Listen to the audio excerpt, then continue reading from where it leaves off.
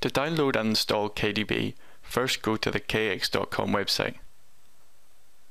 At the top of the page, there's a menu option for software. Go to it and then click on trial version.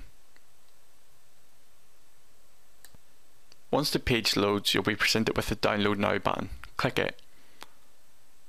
You'll then be shown the license agreement. Read the license agreement, scroll to the bottom and click I agree.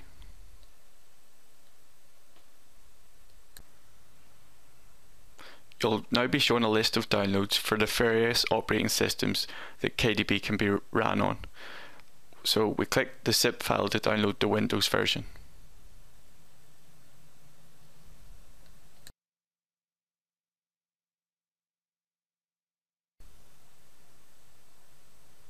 Once we open the zip file, you'll find that it contains one folder, a Q folder.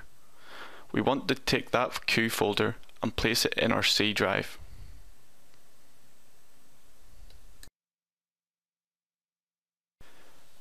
Now I either go to the Windows Start menu Run option or I press the Windows R key combination to bring up the Run console and I type in CMD to, to bring me a command console. Once I have the command console, I change to the Q directory and I specify the Win32 folder QEXE to start KDB. We can now enter commands and run them at the Q console.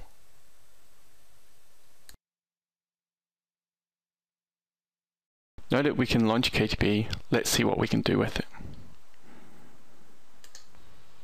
Once we start KDB, we're immediately presented with a Q prompt. The Q prompt is an interactive read eval print loop. Anything we type in is immediately evaluated and its answer returned.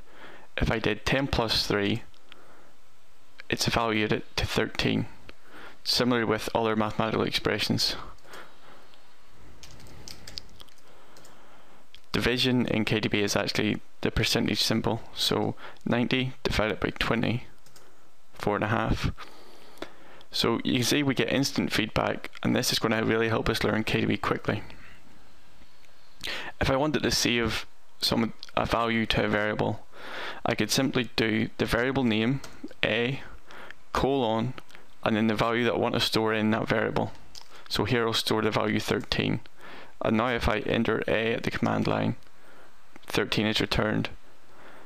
If I wanted to save an expression, the result of an expression, I could do B colon 10 times 9 and that would save the value 90. So the colon takes the expression on the right, evaluates it and stores that value into the variable name on the left hand side. I can then reuse these variables so I could do a plus b which was 13 plus 90 to give 103 and I could save the result of that to a third variable c which would return 103.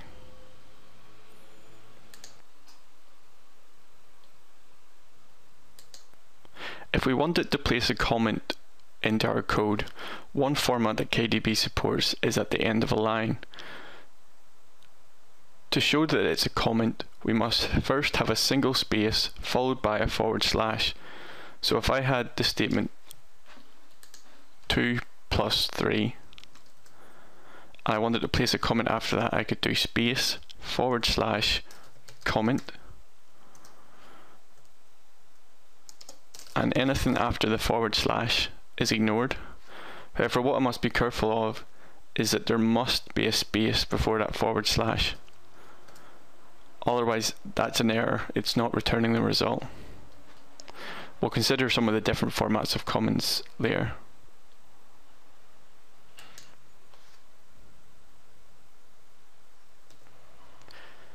If you tried entering a command with more than two operations into the console, you may have got an unexpected result.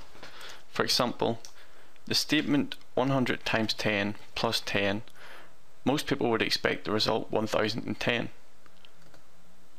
but we get the result 2000. This is because the normal mathematical rules of precedence for most programming languages are not used within KDB. KDB evaluates all expressions from right to left. So normally with mathematical rules what would occur is the multiplication first which would give us 1000, and then the addition to give us 1010. Instead, what's happening within KDB is you start on the right, so it does 10, plus 10 gives us 20, and then multiplies by 100 they give us 2000. The reason commonly given for this behaviour is it is much simpler to understand. Many experienced Q, pro Q programmers would agree. Many beginners, however, find it quite confusing.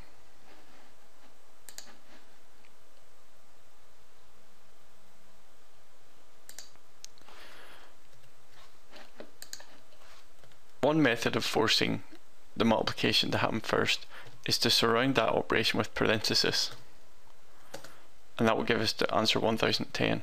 However, experienced KDB programmers will usually rewrite the statement to change the order to get the desired result.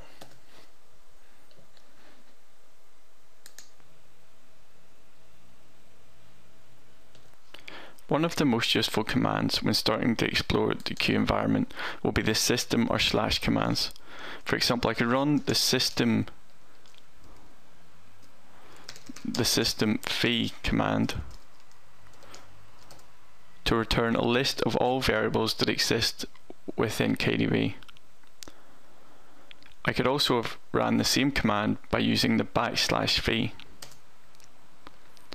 Similar commands in this family include slash a to list the tables, slash b to list the views that exist, and slash f to list the functions that exist. All these are built-in system commands. Usually these will involve a single layer. I can however also run longer commands. I could do slash cd. Because this isn't a built-in KDB command, instead the string here cd is taken and ran as if it was entered at the underlying operating system prompt. Because I'm in Windows, this will run the Windows cd command which gives my current directory as the Q folder. I could call any DOS command that I wanted.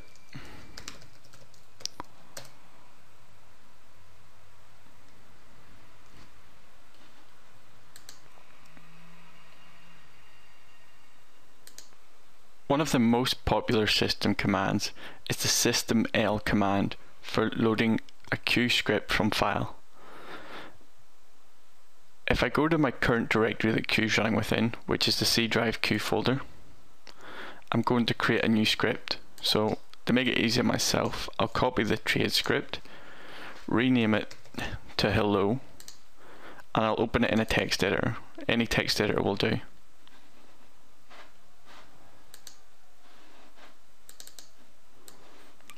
So here I've opened it in QStudio.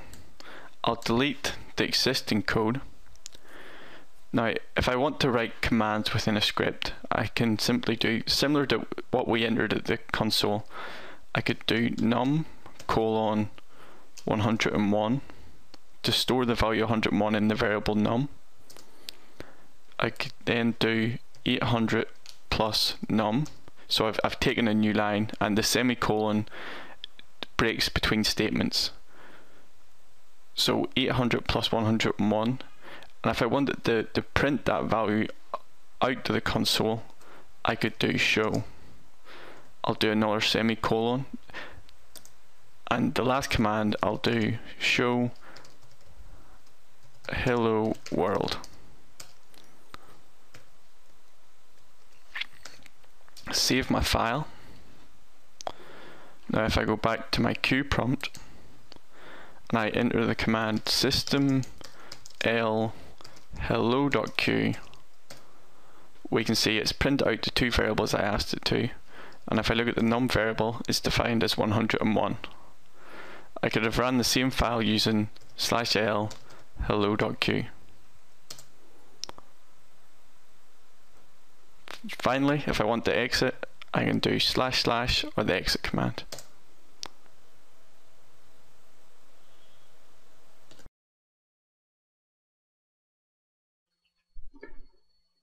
The video you just watched is one small part of our fully online KDB training course.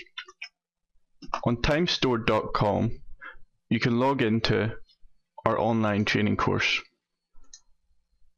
As part of our online training course, we provide over 20 modules on various topics that progress in difficulty from introductory modules on setting up KDB, the data types available, lists, up to inter-process communication and how data is stored on disk. Most modules will have a demonstration video, a related exercise, and example solutions. Users watch the video, submit their exercises, and receive feedback from KDB experts.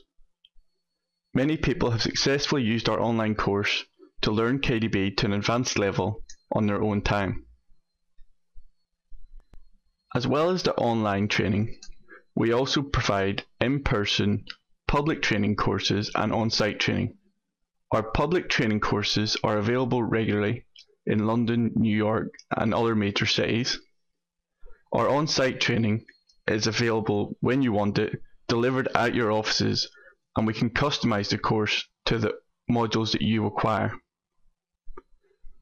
The three-day courses are typically either an introduction to KDB course, or an advanced data manipulation course, or a KDB architecture course. More details on each of these can be found in the website. If you're interested or have any questions or want to register for a course, you can register on the website or click the contact us button at the top of the page and simply send us a message. Alternatively, you can email training at timestored.com. Thanks for watching.